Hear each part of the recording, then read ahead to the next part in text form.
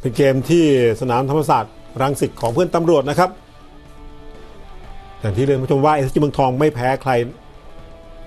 นอกบ้านในฤดูกาลนี้เริ่มมาเป็นตำรวจได้ทั้งถ่ายก่อนบอลยิงของเซอร์เกลซัวเรสไปติดเพื่อนอย่างสุชาติสาลีพิมพ์ออกหลังไปแล้วครับ แค่ในลุ้นในลูกฟรีคิกของนักสกอรให้กับเจโมทอยขึ้นเปลี่ยนทางบางๆ ก็เพียงพอที่จะเอาชนะบอลลบทำให้ทีมขึ้นนำได้แค่ 12 นาทีครับ ที่ SG เมืองทองขึ้นนำก่อนลูกนี้ชมดัสกรนะครับ เตะบอลได้แม่นมากครับสังเกตดูครับ พอดีที่หัวเจย์โบธรอยด์เลยครับตัวตั้งหัวรอโดนนิดเดียวไปอีกทางครับ 1-0 ทีมยังขึ้นนำการสลัดตัวประกบของเจโบทอยทำให้ตัวประกบเนี่ยหงายหลังตามไม่ทันก็โขกง่ายๆแล้วครับ แล้วลูกเตะมุมของเพื่อนตำรวจเกือบจะตีเสมอได้ แต่ซูเปอร์เซฟของกวินครับจังหวะแรก ลูกโขกของวันเฉลิมยัง1-0 เจ้าถิ่นยังตีเสมอไม่ได้ดูจังหวะที่วันเฉลิมมาโขกหนึ่งๆตัวประกบก็พลาดแล้วนะครับไล่ไม่สุดจังหวะนี้ของปียพลบรรเทาเออปียพลพันชกุลแล้วจังหวะที่น่าจะได้สุดๆของทางเพื่อนตำรวจแต่ก็ไม่ได้กวินก็ช่วยได้อีกครั้งหนึ่งแม้ว่าบอลจะข้ามเส้นไปแล้วจากภาพช้า แต่ก็เร็วกว่าที่ผู้ช่วยผู้ตัดสินใจทันเห็นแล้วครับครับ จังหวะนี้นี่คือจากภาพช้าเนี่ยสังเกตได้ชัดครับว่ามันผ่านเส้นไปแล้วนะฮะจากมุมเนี้ยครับที่จะเห็นชัดเจนว่าบอลเนี่ยข้ามไปแล้ว ครับ แต่ก็อยู่ที่ดุลพินิจของกรรมการครับว่าจะตัดสินยังไงครับพอหนึ่งศูนย์เอสจีเมืองทองยังนำอยู่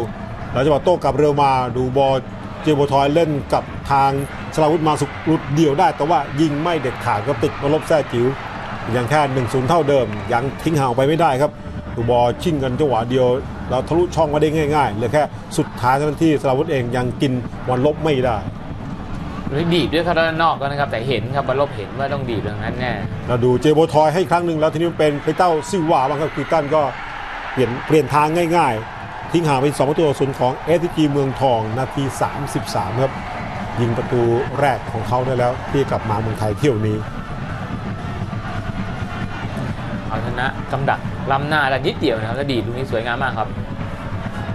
เจโบทอยวันนี้โชว์ฟอร์มได้เยี่ยมนะครับยิงหนึ่งจ่ายหนึ่งไปแล้ว ไหลมาได้จังหวะพอดิบพอดีดูมุมหลังประตูว่า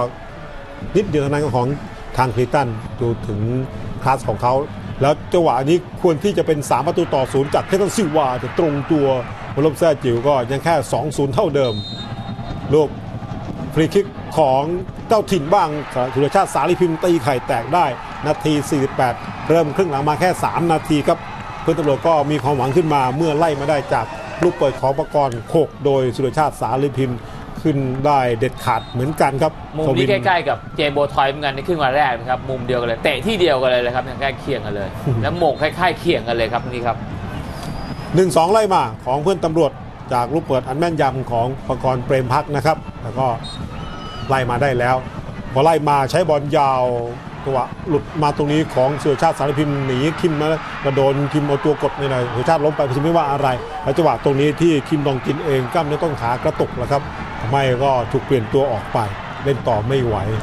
นี่ยิงซ้ำโดยคนนี้แต่ก็ซ้ำได้ไม่ดีพอ มาใหม่ยังยังสองหนึ่งเท่าเดิมบอลยาวๆมาอีกครั้งหนึ่งดูตรงนี้ของเซโอส่วนเลสตรงตัวกวินครับทุบออกมาได้ยืนตำแหน่งได้เยี่ยมมากวันนี้ ในหลายจังหวะที่กวินช่วยทีมไม่ได้ก็ด้วยตำแหน่งยืนของเขาทำให้เพื่อนตำรวจก็ยังตีเสมอไม่ได้ ทีนี้ทีมเยือนก็ต้องการประตูตอกย้ำชัยชนะ เหมือนการหลุดมาของธนุมาสุข ยกข้ามทางมาลบได้แต่ว่าก็บอลเบาเกินกว่าที่จะเข้ากรอบเพราะโดนคิมตามินมาแทงทิ้งออกไปได้ครับดูบอยกข้ามมันลบได้ก่อน แต่ว่า น้ำหนักไม่แรงพอครับ โดนคิมตามินมาจิ้มทิ้งออกไปได้ บอลผู้หากรอบเลยนะครับ ลูกนี้ก็คิดว่าจะยกหลบบอลลบไปเฉยเลยครับ แล้วก็จะเข้าไปซ้ำอีกทีหนึ่งนะลูกฟรีคิกโดยเป็นโอจิออฟสกี้ข้ามคาน ยังทิ้งห่างออกไปไม่ได้ครับ ช่วงท้ายเกมของเอฟจีเมืองทอง ยังสองหนึ่งเท่าเดิมมีเพื่อนตำรวจเองก็ได้ลุ้นจังหวะของธนาชนะบุตรก็กินกวินไม่ได้ธ นาเองก็ลงมาในท้ายเกมแล้วเหลือมันไม่เท่าไหร่เนี่ยเขาลงมาเนี่ยครับเวลาน้อยไปนิดสำหรับเขาครับ แล้วก็จบเกมเป็นว่าเอสจีเมืองทองทำได้เอาชนะเพื่อนตำรวจไปได้ 2 ประตูต่อหนึ่งกลับเป็นจ่าฝูงได้อีกครั้งหนึ่งชมสดสูงสุดถึง 10 คู่ต่อสัปดาห์ในราคาเพียง 50 บาท หรือติดตามทีมโปรดของคุณทั้งฤดูกาลชมสดทุกแมตช์เพีพียง 590 บาทเท่านั้น